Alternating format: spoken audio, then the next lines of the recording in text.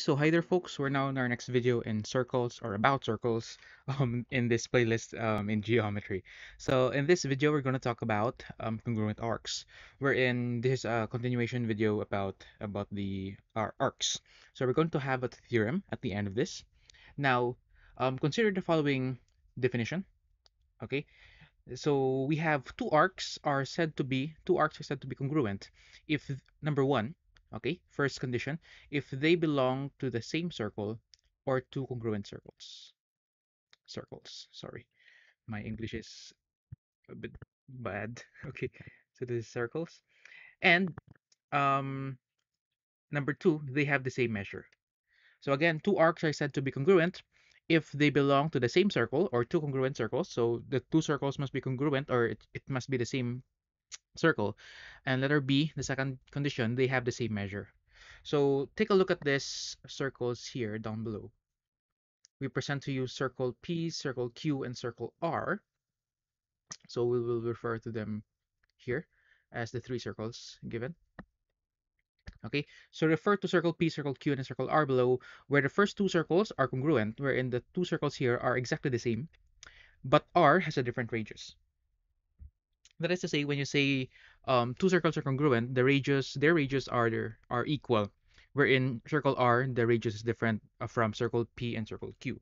So we say that since circle P and circle Q are said to be congruent, the minor arcs um, AB, minor arcs AB, this one, this minor arc here,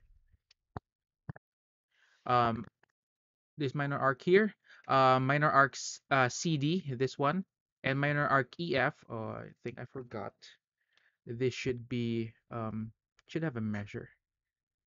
It's measured actually.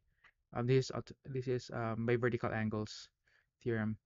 So this is equal to uh, 110 degrees. Okay, so carry on.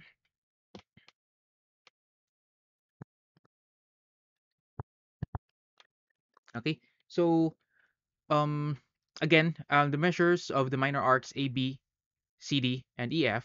This is AB, this is CD, this is EF.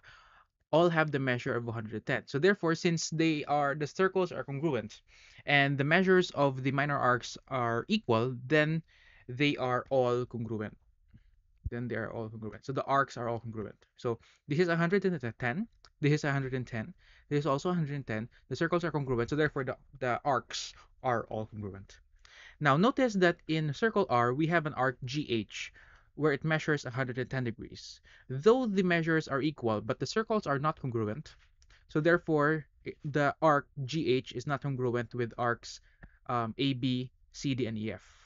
So it is not congruent to the three preceding arcs since it belongs to circle R, which has this the which has a different radius. So which is a big no-no. Okay, again, um, for arcs to be equal, the circles must be congruent and the measures should be the same. So those are the two the two conditions. Now from that example, we now present theorem 2.1. So theorem 2.1 talks about the congruence of the arcs. So let's read it here. So we have theorem 2.1. It states that in the same circle, okay, again in the same circle or two congruent circles, two arcs are said to be congruent. Okay, two arcs are said to be congruent if and only if their central angles are the same.